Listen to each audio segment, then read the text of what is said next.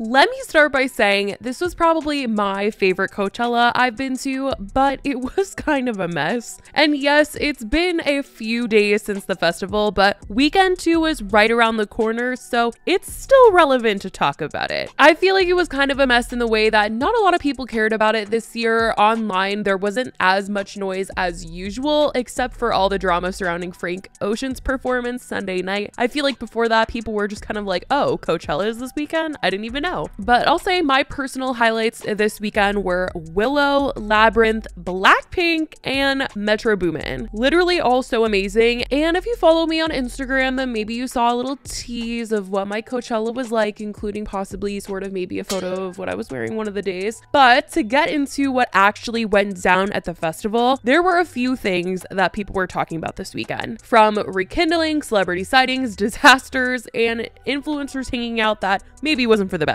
There was a lot. So to start, Shawn Mendes and Camila Cabello sparked up some conversations this weekend after being spotted together, acting like they were back together, kissing, holding each other, dancing. Sources were telling media outlets that the two of them were not exactly back together, just hanging out with each other, but fans are loving these videos that people saw of them enjoying the festival together. All the comments I saw on any of the videos were just so positive, wanting them to be back together, loving on them, Um, which is crazy because I remember when people used to think that they were just some fake PR couple. So to see them actually get love this time around, I'm like, okay, I'm here for it. You guys are really cute. So wishing them the best. As for other things going around, people were wondering if Kylie Jenner was going to show up with Timothée Chalamet, with all the rumors going around about the two of them. But the two of them were not spotted together at the festival. I don't even think Timothée Chalamet was at Coachella. Kylie was, but nowhere near to me. As for Kendall and Bad Bunny, the other Kardashian Jenner couple that is pretty hot right now, and maybe not hot in a good way because people are really upset about it, but they're a hot topic, that's for sure. And they were giving the haters everything that they didn't want because there were videos of them together all weekend long. And this video of Bad Bunny went viral because people were hearing Kendall's laugh in the background.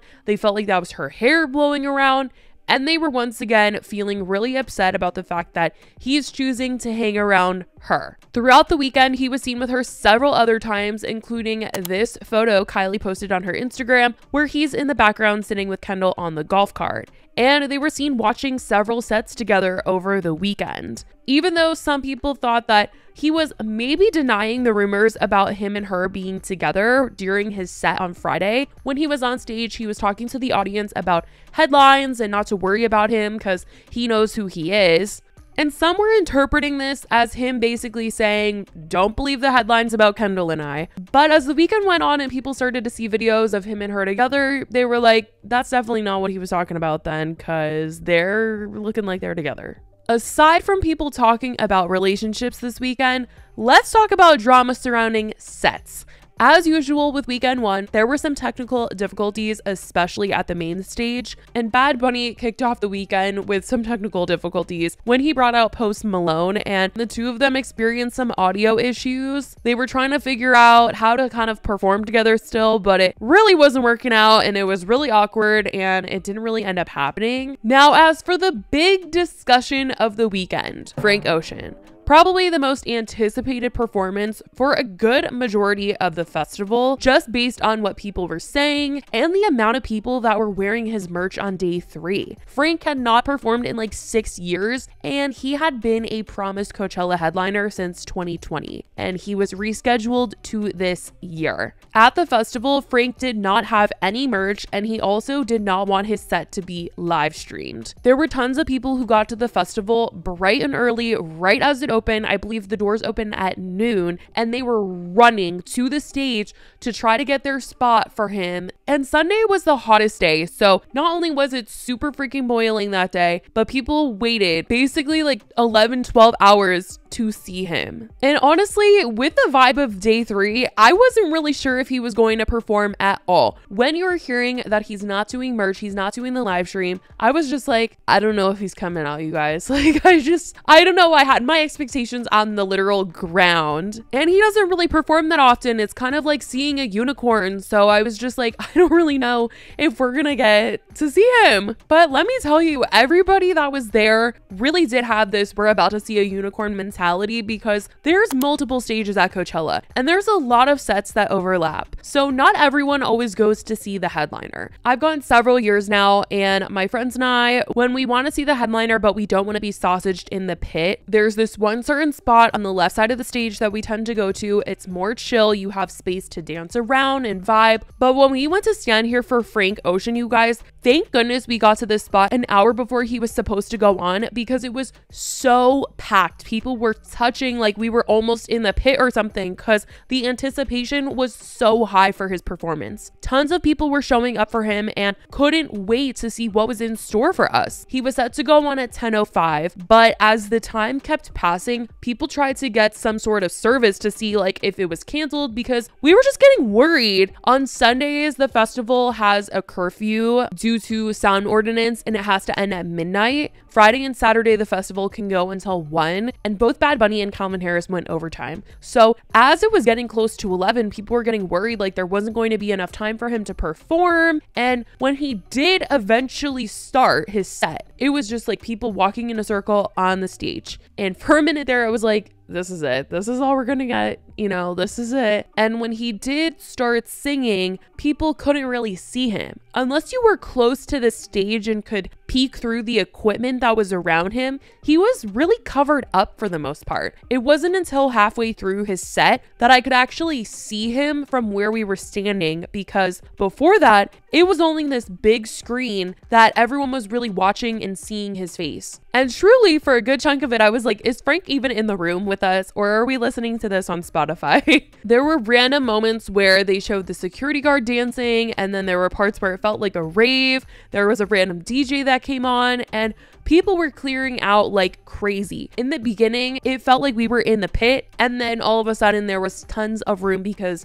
people were just like, what the heck is happening? Stassi Baby and her friend group were with Noah Beck, and they were standing right by my friends and I, and they were making TikToks, you guys. They were making TikToks.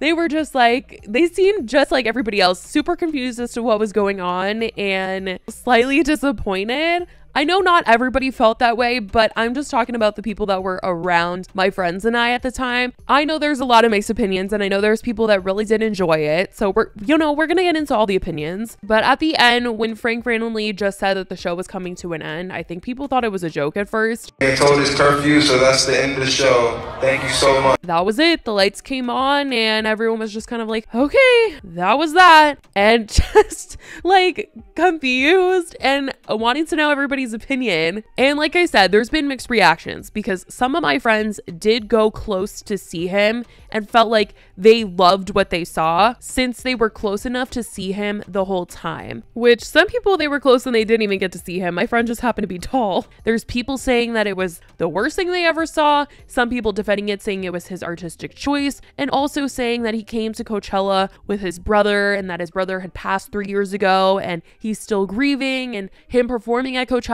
at this place that they used to come together is really hard for him. There's people arguing that he shouldn't have done it then. Some people are saying he would have been sued if he didn't do it, so he had to do it. And I don't know, there's a lot being said. I personally will say that I felt like he just didn't really want to be there most of that time. He seemed kind of upset during it when he would randomly like cut the song. He seemed frustrated with the people on the stage with him. Somebody also took a video from the side of the stage where he was just sitting, but there were times where it did seem like he was having fun, but it wasn't when he was singing, like the parts where they were just playing his song and he was vibing to his own song. It seemed like he was happy and having fun then, but I don't know. It was an experience, I will say that.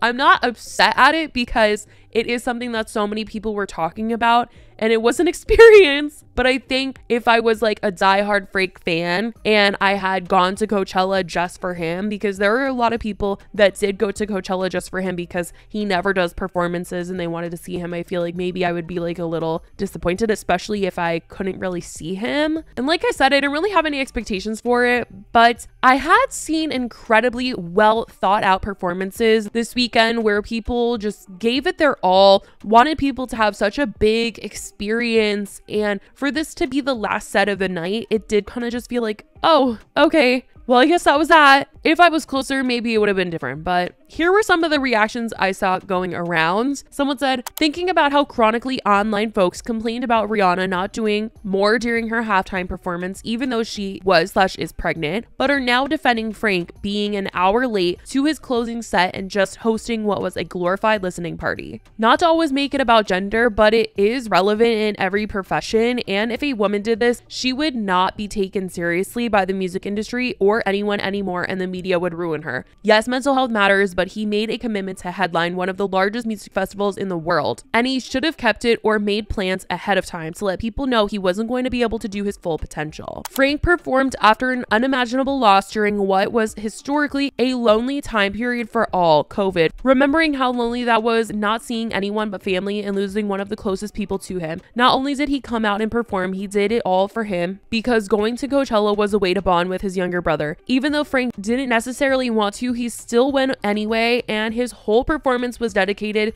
just to that time. He will always miss his brother. Flashy performance or not, he experimented with what he wanted and made it meaningful. Justin Bieber also added to the conversation, and some people were like, wow, you're defending Frank, but you can't defend Hailey. But anyway, he posted this on Instagram saying, I was blown away by Frank Ocean Coachella performance. His artistry is simply unmatched. His style, his taste, his voice, his attention to detail. I was deeply moved. It made me want to keep going and get better as an artist. He continues to set the bar high and gave me a night I will never forget. Thanks, Frank. And Caitlin Ray ended up posting this video of her and her friends' reactions to Frank's set. There's no way. Wait, because That's a lie. The curfew is past one. he literally was like, let me show up an hour late and then not do the whole show. Wait. I guess the do lab we go. Wait, holy.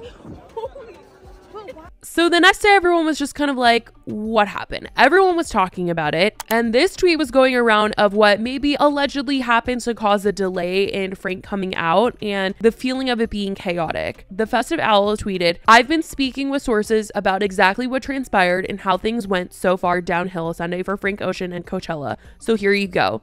The stage production was supposed to and did contain an ice rink that was constructed and ready to go. Frank decided at the last minute that he no longer wanted it at all. All the people walking around him at the start of the performance were actually ice skaters, had been practicing for weeks, and were supposed to be skating as part of the production. Coachella had to deconstruct the approved stage that had been planned and signed off on for months in advance and melt the entire ice rink and then set it up how Frank decided today with no warning, which is what you ended up seeing and caused the hour delay. This all happened when doors had already opened for Sunday and people were securing their spot to see him.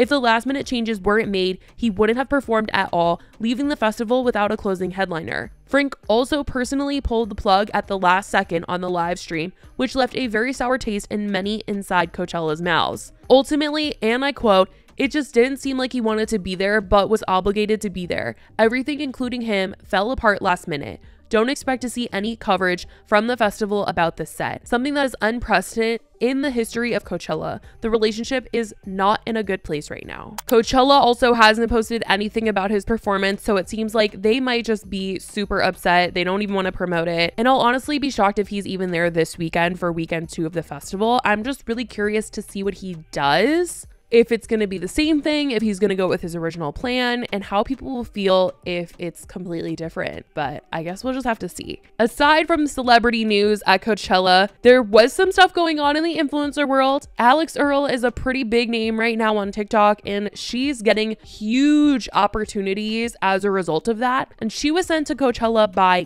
Guess, and the Vlog Squad was also invited by Guess as well. So they were on the same private jet, they were staying at the same compound. And as a result, she ended up making content with David. And when she posted it, people in the comments seemed pretty disappointed in her, saying, David Dobrik jump scare. Not Dobrik. Alix, run far, far away. I was rooting for you. Girl, after what he did to Jeff, girl, please, not David. No, Alix, not David. I will say that since she did get sent by a brand, she probably did sign a contract to say that she had to make a certain amount of TikToks for them and with the other content creators that they hired to maximize press for the brand. And it just so happened to be That was with her on this brand trip. So I think it's a little different than her being at his house, but to be so honest, I wouldn't be surprised if she was hanging out with him again. David and the vlog squad always seem to find themselves with who's hot and trending, so I can't be shocked by this, but these comments might have her reconsidering